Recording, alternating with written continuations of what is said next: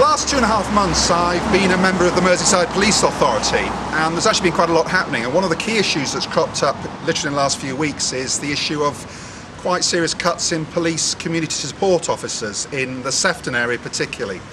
And basically, the cause of the problem is that Sefton Council, for two years, using government money, funded 18 officer posts in Sefton, and unfortunately, that money has now ceased and therefore there is the threat to uh, the number of uh, PCSOs on the ground. One of the things is that our MP John Pugh has actually written to the Chief Constable raising serious concerns as to whether even ignoring the, the, the, the so-called partner-funded posts, such as the 18 that Sefton used to do, whether in fact we in this area of Sefton, including Southport, get a fair deal. And that's certainly something I, as a member of the Police Authority, am going to be following with some interest.